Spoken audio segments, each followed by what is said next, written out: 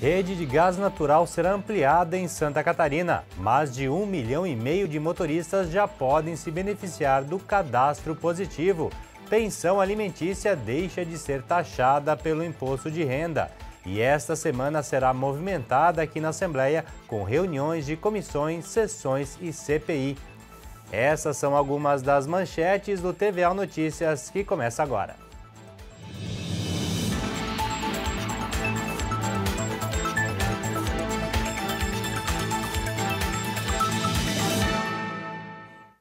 Boa noite. O governo do estado anunciou a ampliação da rede de distribuição de gás natural em Santa Catarina. Serão mais de 660 quilômetros construídos durante pelo menos três anos de obras. Santa Catarina deverá ganhar até 2026 mais 664 quilômetros de rede de distribuição de gás natural. Atualmente, essa fonte de energia é considerada essencial para a economia catarinense, abastecendo indústrias, comércios, residências e postos de abastecimento de veículos. São mais de 21 mil consumidores diretos, além de 123 mil veículos que utilizam GNV. Segundo informações da SC Gás, a Companhia de Gás de Santa Catarina, a ampliação vai fazer com que a rede passe a ter mais de 2 mil quilômetros de extensão e o número de municípios atendidos passará de 68 para 87. A SC Gás desenvolve o maior projeto de rede de distribuição do Brasil, que é o projeto Serra Catarinense. Ele nasce em Dayal, passa por 16 municípios do Vale do Itajaí e conquista a Serra Catarinense a partir de Ponte Alta, é, Otacílio Costa e finalmente em Lages. Ah, o próximo grande desafio da SC Gás é o Planalto Norte, município de Três Barras, Canoinhas, sendo que a gente já atende no Planalto Norte é, São Bento do Sul, Campo Alegre e Rio Negrinho. E o olhar da SC Gás se volta ao oeste de Santa Catarina, pois a gente sabe que é uma região bastante rica, bastante pujante e que fará um bom uso do gás natural assim que disponibilizado. O diretor-presidente da SC Gás explica que atualmente 80% de todo o consumo de gás natural em Santa Catarina vai para o setor industrial. Os principais consumidores são as indústrias de cerâmica no sul do estado, as têxteis do Vale do Itajaí e as indústrias de metal mecânica no norte catarinense. A expectativa é que, com a expansão, um total de 147 novas fábricas sejam conectadas à rede de gás natural, modernizando e otimizando os processos de produção. Além da sua versatilidade, tem a vantagem econômica quando comparado a outros combustíveis concorrentes e, principalmente, ele traz um ganho de produtividade para as empresas que utilizam. Muitos processos industriais só são possíveis a partir do uso do gás natural e nos dias de hoje, como energético da transição, o gás natural ainda contribui com essa agenda menos poluente, menos impactante ao meio ambiente, de forma a elevar os padrões de sustentabilidade das empresas. O investimento previsto pela SC Gás na ampliação é de mais de 665 milhões de reais, em média um milhão para cada novo quilômetro de rede. O valor inclui mão de obra e todo o material utilizado na distribuição do gás natural, inclusive os milhares de tubos de aço e de polietileno de alta densidade. O gás, que inicialmente vinha apenas da Bolívia, agora chega a Santa Catarina de diferentes lugares do mundo. O gás natural que atende o sul do Brasil originalmente vinha da Bolívia. Hoje em dia a gente já tem um mix de suprimento com gás natural e gás importado através de terminais portuários ao longo da costa brasileira, de forma que hoje nós operamos com um mix de suprimento de várias origens. Temos gás importado, por exemplo, é, dos Estados Unidos, do norte da África, do Catar, são é, fontes de suprimento que são operados hoje pela Petrobras, mas vivemos atualmente uma abertura de mercado onde novos agentes começam a colocar produtos também no mercado, a própria SC Gás começou a operar nas últimas semanas com dois novos supridores, além da própria Petrobras. Agora vamos falar de outra fonte de energia. Uma pesquisa da Universidade Federal de Santa Catarina está mapeando a produtividade da energia solar no estado. A tese, desenvolvida por um pesquisador da instituição, analisou dados de mais de 1.200 sistemas fotovoltaicos em diversas regiões catarinenses. A produtividade da energia solar catarinense é tema de estudo de doutorado da Universidade Federal de Santa Catarina, a UFSC. Ainda que o estado tenha um dos menores índices de irradiação do Brasil, o cenário para o uso da fonte solar como matriz energética é promissor. O destaque fica para a região oeste, com significativos impactos econômicos e ambientais. Uma área muito promissora, uhum. é uma coisa que, que vai crescendo é, por capilaridade, né? uma coisa que vai se disseminando um, o, o vizinho coloca, outro, os dois vizinhos querem colocar também, então é uma coisa que vai vai crescendo naturalmente de uma forma orgânica, sabe? E é uma coisa, é uma energia também que ela que ela é democrática, assim, você, você é, qualquer um pode ter, né, é mais fácil de acesso. O pesquisador, que também é engenheiro civil, participou de uma Olimpíada de Produção de Energia Solar em casas populares na Espanha, com participação de 20 países, logo após defender seu trabalho de conclusão de curso na Universidade Catarinense. Quando eu estava fazendo TCC, eu comecei a buscar ah, coisas para poder acrescentar no meu trabalho. E aí eles estavam, é, junto com, com a USP e outras universidades federais, foi feito um consórcio, né, e selecionado uma equipe de estudantes para participar de um time brasileiro para competir é, em Madrid, na Espanha. O estudo analisou dados do projeto básico fotovoltaico da Celesc, que instalou 1.200 placas de captação de luz solar em diversas regiões do estado. Andrigo desenvolveu um algoritmo que indica que Santa Catarina produz 1.200 kW por ano. Foi feita uma parceria com a Engie e Celesc, né, e foi feito toda a integração e, e visita em todas essas, essas unidades entre todo o estado de Santa Catarina. Foi dividido em seis mesorregiões do estado, conforme o IBGE. Então, foi instalado vários sistemas em cada uma dessas regiões. A Assembleia Legislativa também é exemplo de sustentabilidade energética. O parlamento montou uma usina de energia solar na laje superior do prédio principal. A instalação foi concluída em agosto deste ano e, segundo o especialista responsável, deve reduzir o gasto com energia elétrica em 25% ao ano. Esta é mais uma etapa do Alesc Sustentável, que completou um ano com resultados positivos. E você vai ver depois do intervalo, mais de um milhão e meio de motoristas já podem se beneficiar do cadastro positivo. Os detalhes em instantes.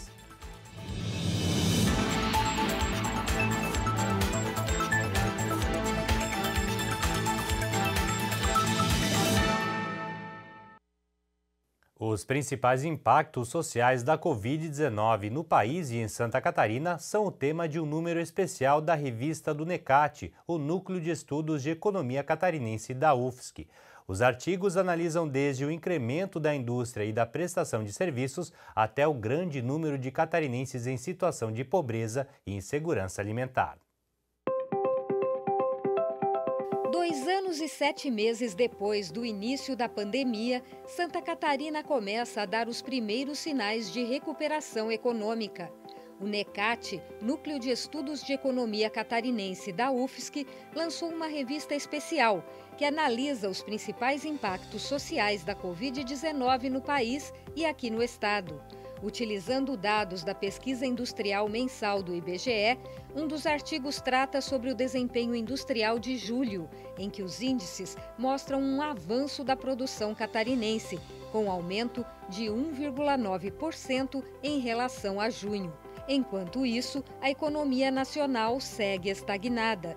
O editor da revista é o professor do Departamento de Economia e Relações Internacionais, Lauro Matei, que analisa este cenário. Destaca-se muito aqui as expansões que você teve no setor de máquinas, equipamentos, produtos plásticos, e um dos produtos mais importantes, né, produtos alimentares, a agroindústria alimentar de Santa Catarina, que tem uma grande demanda do país todo e também do exterior. Então, esses produtos eles acabaram puxando a produção industrial de Santa Catarina nos últimos meses, fazendo que o resultado de 2022 seja muito positivo em Santa Catarina, assim como ele está sendo positivo em Mato Grosso, no Pará, é, e muito negativo em estados importantes, como São Paulo, né, Rio de Janeiro. Mas a gente também tem alguns é, setores com problemas, né? É, particularmente o setor de madeiras, né, a indústria de madeiras, exportação de imóveis, essas coisas, a indústria têxtil continua com problema e a indústria de material elétrico. Né? Nós temos um problema no mercado doméstico no país. Né? Por quê? Porque a inflação alta ela corroeu o poder de compra dos salários. Né? Então, o poder de compra da população caiu. Né? Então, olha só, os testes, vestuário é o primeiro que é impactado, né? porque a inflação alta, o primeiro reflexo dela é que ela corrói o poder de compra das pessoas. E aí é, a gente vê isso, né? as pessoas nos mercados, todo mundo fazendo ajuste no seu orçamento doméstico. Né? E aí tem os lugares, de, e esses setores, então, eles são mais afetados. Né? Em contrapartida, foi registrado o menor saldo de vagas formais de trabalho neste ano e o varejo registrou retração mais uma vez. Exatamente nos setores do comércio que mais caem é o setor de tecido, vestuário, calçado e de imóveis e utensílios. O que, que, que, que isso indica para a gente? Indica que, tipo assim, é aqui que a gente faz o ajuste do orçamento doméstico. Né? Então, é, quando você tem problemas de inflação alta, o desemprego ainda está alto, embora em Santa Catarina o desemprego está bastante, a taxa de desemprego é muito inferior ao do Brasil, mas tem desemprego, né? E o orçamento doméstico ele se ajusta nesses setores. Você não vai comprar um calçado, não vai comprar uma roupa nova, né? não vai é, continuar é, gastando né? ou comprando novos eletrodomésticos. O reflexo do que acontece no comércio ele respinga para trás e faz com que a atividade econômica da produção industrial também se restringe. Ao mesmo tempo, os estudos mostram também que o volume de prestação de serviços em Santa Catarina atingiu em julho o maior nível desde o início da pandemia. O setor de transportes rodoviário e aéreo e os serviços direcionados às famílias, que pararam em 2020, agora se destacam pelo retorno à quase normalidade. O setor de serviços, ele responde por 66% do PIB do Estado. Então, qualquer melhora que tem ali, melhora todos os indicadores. Né? E o efeito benéfico dessa melhora no setor de serviços se traduziu numa elevação do nível de emprego. O professor Lauro Matei é autor de artigos da revista Necate mostrando impactos sociais no final de 2021, a pobreza atingiu 29,6% da população total do Brasil, segundo o mapa da nova pobreza traçado pela Fundação Getúlio Vargas. O professor aponta que em Santa Catarina, 900 mil pessoas vivem com algum grau de insegurança alimentar, sendo 338 mil em situação de fome. São pessoas que efetivamente estão passando fome. Né? Então, é, essa é uma consequência, né, que eu acho que é inevitável, que foi uma consequência da pandemia, né, e que é, outros estados o impacto é muito maior, né, porque as condições sociais eram diferentes, mas o que nós precisamos discutir em Santa Catarina é que aqui também nós temos pessoas passando fome. O NECAT vem realizando uma sequência de trabalhos desde a chegada da pandemia ao país. São pesquisas e debates com o objetivo de estimular uma melhor compreensão do momento histórico que as sociedades brasileira e catarinense estão enfrentando para superar alguns dos principais desafios no atual estágio do desenvolvimento socioeconômico do país. O professor e pesquisador faz uma análise das ações necessárias para a retomada econômica mais acelerada no Estado. Em primeiro lugar, você tem que reorganizar essa estrutura é, governamental, é, do guarda-chuva do governo federal, dando apoio aos estados, no sentido de que os estados retomem as políticas sociais, em paralelo com as políticas de desenvolvimento econômico. Não adianta você expandir a indústria e deixar uma porcentagem enorme da população perdendo fome, porque as pessoas não vão comprar o que a indústria produz. Imediatamente depois a indústria vai cair a produção da indústria vai cair. Então, esse descompasso explica muito a realidade que nós estamos vivendo, inclusive também em Santa Catarina. E isso eu acho que é o ponto central nos próximos períodos, é, no, seja lá quem for o governo do Estado, que vai ter que recompor. Há quase um mês, os brasileiros que possuem carteira nacional de habilitação podem fazer o cadastro positivo. A iniciativa pretende garantir benefícios aos motoristas mais comportados nas estradas. Conforme deliberação do Conselho Nacional de Trânsito, a partir de agora, condutores que não tenham cometido infrações dentro de um prazo de 12 meses terão direito a benefícios como desconto de isenção de taxas, condições diferenciadas para locação de veículos, contratação de seguros, tarifas de pedágio e estacionamento, entre outros. Os primeiros condutores que fizeram o cadastro a partir de 22 de setembro já estão com as vantagens ativadas para serem concedidas. Para ter direito a esses benefícios, o motorista precisa estar devidamente cadastrado no Registro Nacional Positivo de Condutores, o RNPC. O cadastro é feito através do aplicativo Carteira Digital de Trânsito ou no portal de serviços da Secretaria Nacional de Trânsito, o Senatran, e pode ser ativado durante todo o ano. Ao finalizar a fase de cadastro, o motorista deverá dar consentimento para que seu nome seja consultado para avaliação de aptidão para receber os benefícios. O Registro Nacional Positivo de Condutores está previsto na nova Lei de Trânsito e foi regulamentado em maio deste ano pelo Conselho Nacional de Trânsito, o CONTRAN. O recebimento de pensão alimentícia não será mais alvo de cobrança de imposto de renda. A decisão do Supremo Tribunal Federal tem impacto sobre os últimos cinco anos e o contribuinte poderá pedir restituição caso tenha pagado valores a mais ao fisco. Uma decisão do Supremo Tribunal Federal definiu que pensão alimentícia não é mais tributada pelo imposto de renda. Segundo a Receita Federal, quem declarou esses valores nos últimos cinco anos vai poder retificar a declaração e fazer o acerto. O ajuste dos valores pagos a mais pode ser enviada por meio do programa gerador de declaração no portal ECAC ou no aplicativo Meu Imposto de Renda. O contribuinte vai precisar ter o número do recibo de entrega de declaração, que precisa ser ajustada, e manter o modelo de dedução escolhido quando o documento foi enviado. A Receita Federal orienta os contribuintes para terem cuidado na hora de preencher a declaração retificadora o valor da pensão alimentícia declarado como imposto tributável deve ser excluído e informado na opção rendimentos isentos e não tributáveis e especificar pensão alimentícia. As outras informações devem ser mantidas como na declaração original. Mais detalhes você pode encontrar no site da Receita Federal ou baixar o aplicativo Meu Imposto de Renda na loja do seu telefone celular. A autoridade fiscal brasileira reforça a importância de guardar todos os comprovantes referentes aos valores informados na declaração inclusive na retificadora, que podem ser solicitados pela Receita Federal para conferência até que ocorra a prescrição dos créditos tributários envolvidos. A Receita reforça também que estão sendo analisadas alternativas para acelerar a revisão dos lançamentos de ofício de declarações com rendimentos de pensão alimentícia. E a seguir, semana será movimentada aqui na Assembleia com reuniões de comissões, sessões e CPI. Os detalhes depois do intervalo.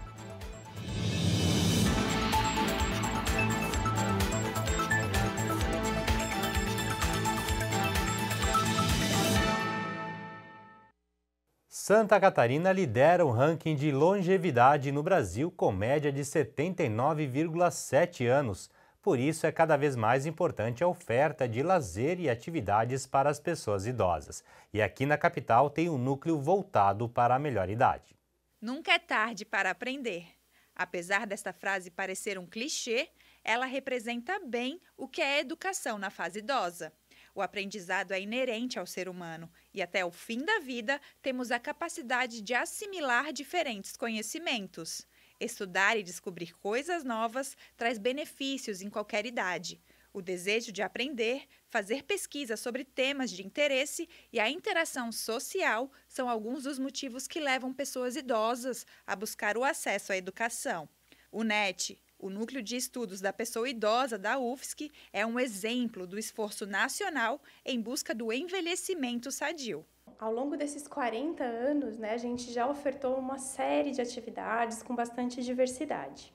Hoje, nós trabalhamos com oferta de atividades socioeducativas para a comunidade. Né? Então, a cada semestre, a gente oferta um rol de atividades semanais nas quais as pessoas acima de 50 anos podem se inscrever. E essas atividades são bastante diversificadas. Elas envolvem desde cursos de línguas estrangeiras, como também de atividades que vão envolver a movimentação do corpo, então dança, yoga, teatro, como também alguns cursos mais teóricos, como é o caso do curso de nutrição, do curso de matemática, por meio de atividades lúdicas, oficinas reflexivas, enfim, é uma série de atividades que são desenvolvidas aqui. Semestralmente, nós lançamos um edital de vagas para as atividades socioeducativas da comunidade. Então, um pouco antes do semestre letivo começar, normalmente ali pelos meses de fevereiro e de julho, a gente oferta as atividades daquele semestre. Tem um edital que é publicado no nosso site, divulgado nas nossas redes. A gente tenta fazer o máximo possível assim uma divulgação na comunidade e é via esse edital que as pessoas se inscrevem. Tem uma taxa de inscrição de 70 reais por semestre para participar de atividade, mas as pessoas que não podem pagar podem solicitar a isenção desse pagamento da taxa. Isso para as atividades socioeducativas.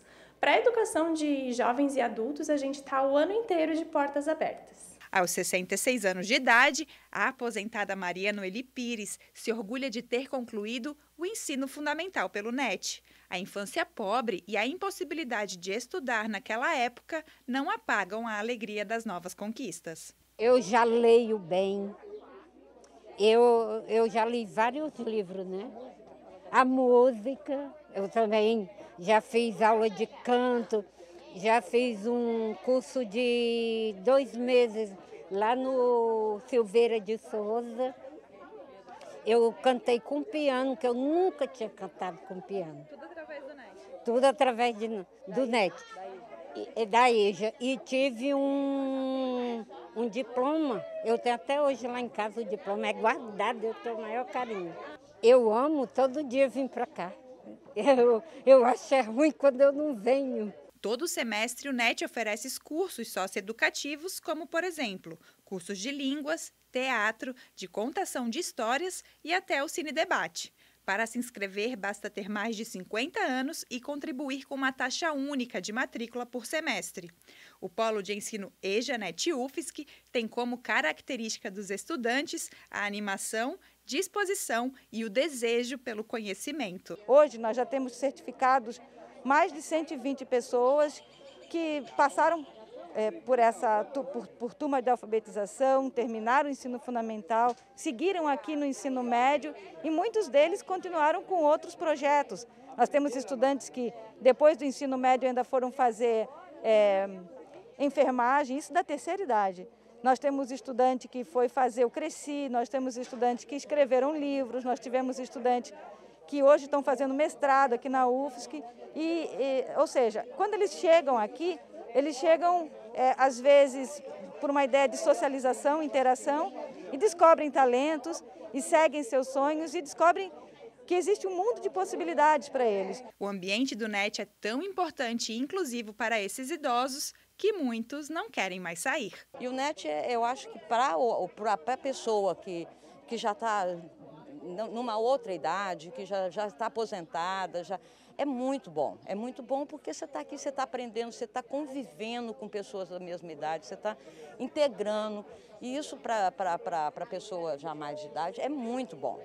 Quer dizer, você está ali, você está participando, é, você tem é, vários eventos, você está dentro de uma faculdade, que isso é muito bom também, né? porque você ah, tem um convívio com pessoas mais jovens, então, eu acho muito importante o NET, o papel do NET para a terceira idade, eu acho fundamental.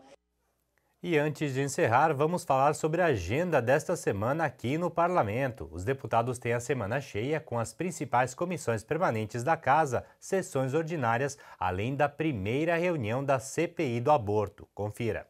A atividade parlamentar desta semana na Assembleia Legislativa inicia na manhã desta terça-feira, 18 de outubro, com a realização da reunião da Comissão de Constituição e Justiça a partir das 10 da manhã. À uma da tarde acontece a primeira reunião da CPI do aborto, que será de forma sigilosa, já que o assunto corre em segredo de justiça. A sessão ordinária está prevista para as duas da tarde. Para finalizar a terça-feira, os deputados membros da Comissão de Turismo e Meio Ambiente se reúnem às 5 da tarde. Já na quarta-feira, às 9 da manhã, será realizada a reunião da Comissão de Saúde. Os parlamentares da Comissão de Finanças e Tributação iniciam os trabalhos às 10h30 da manhã e à uma da tarde ocorre o encontro da Comissão de Prevenção e Combate às Drogas.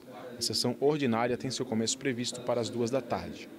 Por fim, no dia 20 de outubro, quinta-feira, os deputados se reúnem para a sessão ordinária em plenário às 9 da manhã. E por hoje é só, a gente fica por aqui. Outras notícias no site, nas redes sociais do Parlamento ou ainda durante a programação da TVA. Uma boa noite para você e até amanhã.